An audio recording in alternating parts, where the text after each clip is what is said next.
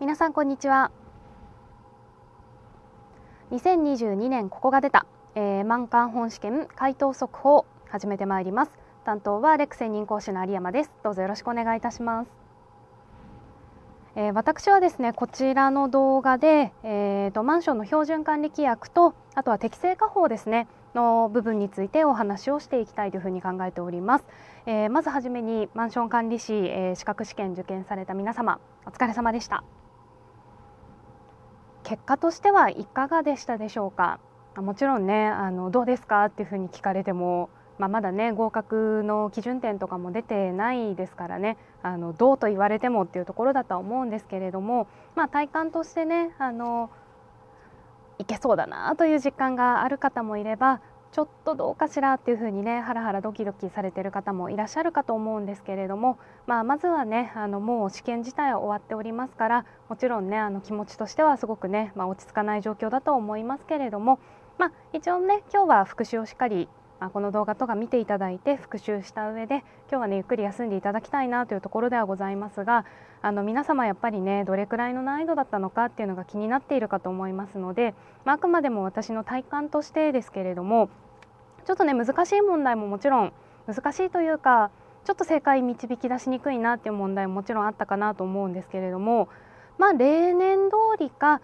若干優しいかなというふうに感じる問題もねいくつかあったかなというところではございます。まあ、ただあの私がね担当しております適正化法に関しましては、まあ、ちょっとね今見たところではあるんですけれども、えー、問いの46からね問いの50までの適正化法に関しては改正ポイントがね、まあ、続いているところでしたので、まあ、その点で言うとちょっと難しい、まあ、対策をしてた方はねもちろん、えー、解きやすかったかなと思いますけれどもちょっととっつきにくいものがあったかなと思います。ま、しかもですね、ま、基本的には適正化法って個数が多くなる傾向にあるんですけれども、ま、例えば4647もそうですしでそのまま問いの48までね、えー、今年は3つ個数問題が続いておりましたので、まあ、その点でいうと若干ね世界史導き出すのはうんなんか大変だったかなと思いますね。であとはですね問いの50問いの50が穴埋め問題がね1問出ておりましたけれども、まあ、この問いの50に関して言えばまあ、あいうえのね4つの穴が開いておりましてそこの中にね適切な、え、キーワード、まあ、用語を入れていってくださいということではありましたが、まあ、基本的に見ていっていただければ例えば「あ」に関しましては、えー、区分所有者および、えー、管理組合の管理者等が入るかなということが分かりますし、まあ、ただね他の候補が区分所有者等としか言ってないので若干ね「あ」と「う」今ねお手元で見ていただければと思いますがあと「う」のところが逆転しているのでそこでちょっとまあ悩んだかなというところと「まあ、い」に関してはあの何日前っていうよりも何週間前という話ですよね基本的にはね。なので、まあ、1週間前というのが選択肢として出てくるかなというところでさらに、えー、まあ、絵絵に関しましてはここがねほらあの認定管理者等っていうのがね新規で出てきておりますから理事会ではなかったかなというのでね、えー、認定管理者等が入るかなというふうに推察できれば、えー、問いの50は現在のね判断としましては正解詞番号は2番、えー、2番であるというふうに考えておりますが、まあ、この2がねあの出せたんじゃないかなっていうところではありましたね。で他のね改正もいくつかありましたけれども他ちょっとねあの個数問題だったので若干細かいところまで気づけないとあの難しかったかなっていうところはありますね。はいまあ、適正化法に関してはねこの辺りですけれどもあとは49番もね49番も若干悩みどころではありましたね管理計画の認定についてのね問題でしたが、まあ、その例えば足の2番でいうと10年ごとにね更新を受けないとその期間の経過によって、まあ、効力を失ってしまいますよっていうような内容が出ておりましたがこれあの10年じゃなくて5年5年ごとにですよということでこれガイドラインのね、えーと、推進のね内容のところに載っているんですけれども、まあ、そこの部分ですとかあとは足の3番。この足の3番はね意外とキーワードは問題が、まあ、なかったじゃないですか。キーワードというのは長期修繕計画の、まあ、計画期間はこれ30年以上であると。でもう一つのキーワードで言うと大規模修繕工事。これ何回以上含まれないといけなかったんでしたっけ？これはあの2回以上。2回以上含まれるようにまあ認定されていることが必要よと。でそのキーワード自体はまあ問題がないと思うんです。ところがこれ焦ってこう解いてしまっていると大きな見落としがあって何かというとこの問題文のね今問いの49の足の3についてお話しておりますがその問いの49の足の3を見ると長期修繕計画の期間30年以上であるかまたはまたはその長期修繕計画の残存期間内に大規模修繕工事が2回以上含まれているというような記載があると。これまたはではなくてかつでしたよね。ですからあの正しくは、えー、長期修繕計画の計画期間が30年以上であり、まあ、かつかつ、えー、長期修繕計画の残存期間内に大規模修繕工事が2回以上含まれるように、まあ、設定されていることが必要ですよと、ね、いうことになりますからまあ、そのね「または」の一言をちょっと見逃してしまうとキーワードと数字にやっぱりこう人って注力してしまう、まあ、特にね受験してる時ってこう意識がいってしまいますからそこでちょっとねうんっていうのはあったかもしれないですね。でそれがちょっと見抜けないとあの足の4番に進んでいった時に、えー、認定のためにはまあえー、組合員名簿とか居住者名簿を備えていて年に1回以上はね確認チェックしていることっていうのがあるんですけれどもこのね足の4番の内容っていうのは、まあ、どういうことかというと今ねそこに、まあ、要はお住まいになっている方たちの、まあ、名簿がいるんだと。でその名簿をちゃんと定期的にチェックしていないと、まあ、通常のね平常時というふうに、まあ、記載がありますけれども内容を見てガイドラインにはね平常時というふうに記載がありますけど平常時の連絡のやり取りとかがねうまくいかなかったりあと大事なのが災害が発生した場合等々に、まあ、当然こう確認をねしないといけなかったり迅速な対応を取らないといけなかったりするっていうケースがありますね。でそういう時の、まあ、連絡っていうのをちゃんとするためにはその名簿とかをね定期的に内容が変わってないかなっていう確認をしとかないといけないとでそういうのをちゃんとやってるかどうかっていうのが実はね求められているところで、まあ、それを踏まえて考えると問いの49に関しては、えー、正解詞が4になると。だからその年に1回以上は内容の確認をねしていることが必要ですよという内容ですから、まあ、その通りというふうにね4が選べたんじゃないかなというところなんですがなんかこれのねこの年に1回以上の確認っていうところまで、まあ、しっかり入っていた方っていうのはねそこまで多くないんじゃないかなと思うのでこの芦野さんの「または」っていうのを読み飛ばしちゃうともしかしたら3をあの正しいものっていうふうに選んじゃったっていう方もいるんじゃないかなっていうのがあの現在ね見ているところで、まあ、若干引っ掛け要素があったかなと思いますね。まあ、適正化法はこの辺りにしましてで次ですね問いの26番以降で、えー、標準管理規約ね続いておりますけれども、まあ、標準管理規約はねこれ単体で言うとちょっととっつきにくかったかなっていうのが正直なところです。と言いますのも、えーと問いのね27番問いの27番からウェブ会議システムが出てきましたよね。問いの27の足野さんでウェブ会議システムでまあ理事会が開催できると。ね、でその理事全員分の、まあえー、と機材の一括購入だとかねそういうことを言っていてで、まあ、やっとねあのウェブ会議システム、まあ、登場したかというところではあるんですがそのまま次の問題に行くとまたね問いの28でウェブ会議システムについての単独一問ってね出てきたと。でそれ以外にもあのちょこちょこウェブ会議システムって言葉出てますでしょ？だからね何回か問いの30とかもそうですよ。問いの30は、まあ、全体的な内容で言うと IT を活用した、まあ、場合の、まあ、手続きであると。でその問いのね28、まあ、番のそのウェブ会議システムに関してもウェブ会議システムという新しい内容であるにもかかわらずしかも個数問題であるからちょっとね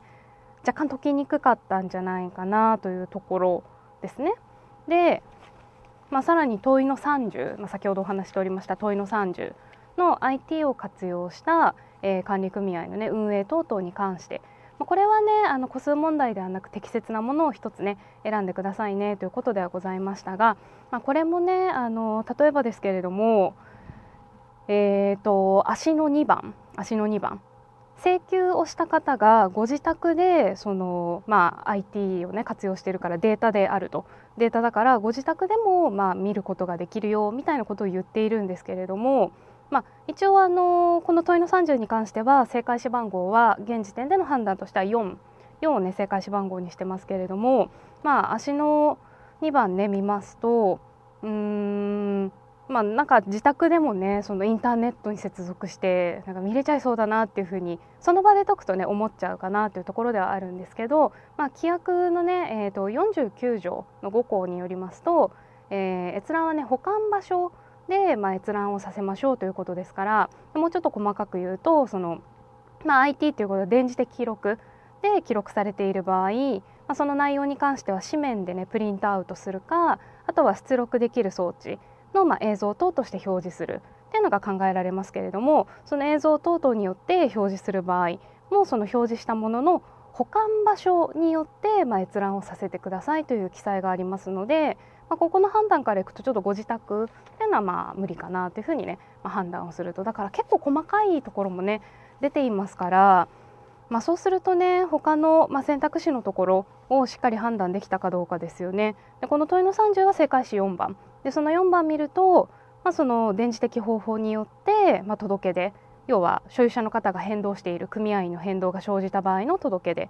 を行うことができるよという話なんですがこれ標準管理規約って電磁的方法が利用可能な場合とそうでない場合で「あ」と「い」で、まあ、分かれている部分がいくつかございますよね。でそれでいくとその「い」の電磁的方法が利用可能な場合を想定した規約、まあ、これ31条のねところで、まあ、指定をすればその意の内容の規約だという前提でいくと、えー、まあ書面または電磁的方法により、え、管理組合に届け出ということですから、まあ、そうすると、まあ、電磁的方法も可能かなっていうような判断ができるというところでございます。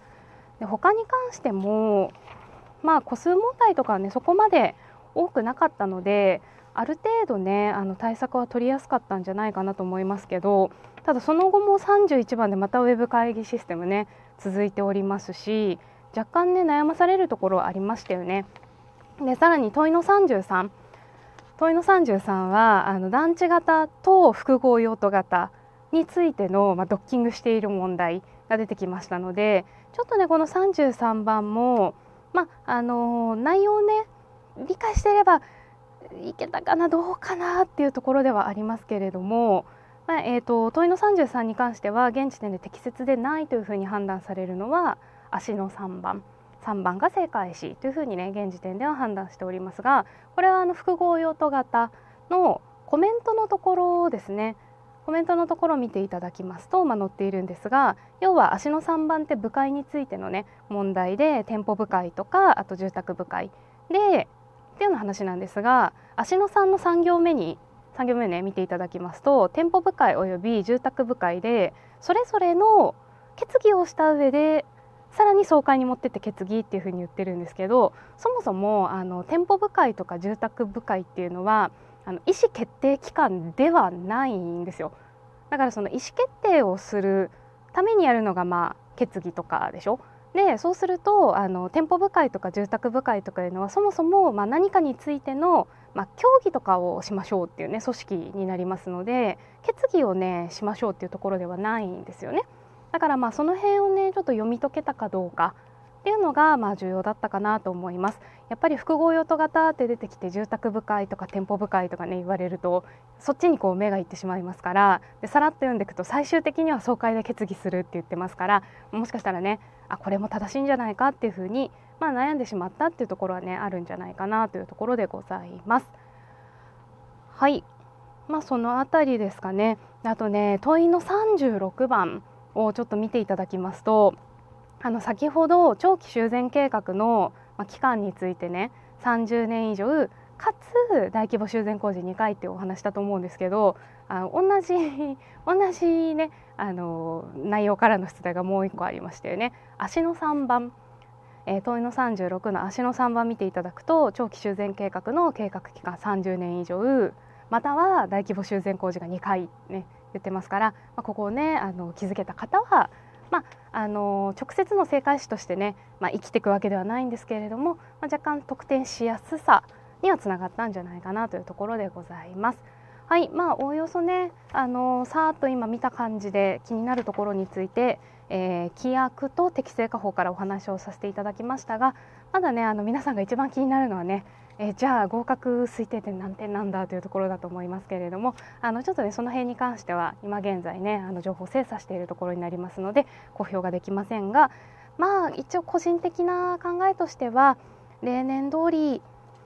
うん問題によるんですがややきやすいものもあったかなっていうのがね今印象としてはございます、まあ、ただ冒頭でお話しました通りウェブ会議システムですとかあの認定制度ですとかのねあの改正ポイントも、ま、かなり出題がありましたからその点で言うと、まあ、対策としてね少し対策が取りにくかったという点を考えますともちろんね難しい問題もたくさんありましたのでまあ、あの今の時点でねちょっとあんまり点数が取れなくてっていうふうに落ち込んでらっしゃる方もあの悲観しないでねとりあえず今日はもう本当にお疲れかと思いますのでご自身の努力をねぎらっていただいてまずはねゆっくりあの温かいお風呂とか入っていただいてね休んでいただくのがいいかなと思います。はい、えー、それでは、えー、2022ここが出た満館本試験回答速報の、えー、標準管理規約と適正化法に関しましてはこの辺りとさせていただきますご視聴いただきましてありがとうございました、え、皆さん試験お疲れ様でした。